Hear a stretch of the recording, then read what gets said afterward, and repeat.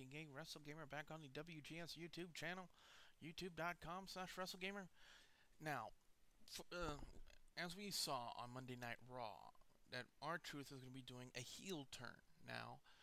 But I don't know, maybe this way they're doing this heel turn. It's kind of landing WWE in some hot water with some part, some people. For those of you who didn't see, the way they're doing this is they had R-Truth turn on John Morrison after our match was over, and he was smoking cigarettes on TV.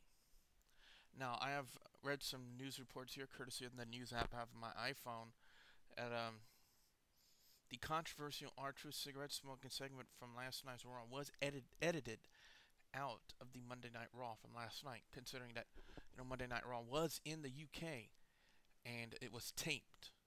So, yeah, because I believe there's like an, an ordinance against smoking in public buildings, such as arenas in the in the UK. I am not entirely sure what the whole deal is, but uh, it really isn't a a good thing. But um, there's also another report, as again as landing WWE more hot water, is that um, uh, this is an anti. This is from an anti-smoking activist. His name is Patrick Reynolds. He, in a ironically, he's the grandson of R.J. Reynolds, who founded the second largest tobacco company in the United States, and he is demanding an apology from the WWE and R-Truth from the smoking segment from last night.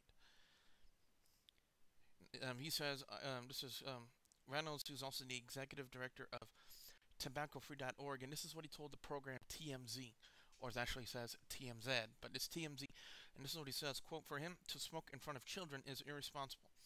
At best, it's thoughtless, and at worst, if he's calculated appealing to kids by posing as a bad boy outlaw, it's evil. You kind of got you kind of got to agree with him. You know, you don't want to, to promote smoking, especially to children. You don't we don't want kids to smoke. Smoking is a bad habit. It's very unhealthy. And uh, he said he's even noted that he coached R-Truth if he wanted to quit. And this is how WWE responded to Reynolds with the statement. Says, quote, the negative effect smoking has on one's health and physical performance was a part of a storyline on last night's Monday Night Raw. Negative depictions of tobacco use on television are not unusual and can be seen on other TV PG shows. I guess that's WWE's way of covering their ass. I don't know. I, I don't know. I'm, maybe they could have gone another way with the heel turn. I don't know. I don't know if they should have went to went with a smoking angle. I don't know. I want to hear from you guys when what you think about the the whole heel turn with R-Truth and the fact that it was a they used smoking to uh, promote him as a heel now. So leave your comments in the comment section below. Until then, I'm Double B Billy Boudreaux, aka WrestleGamer. Thanks for watching.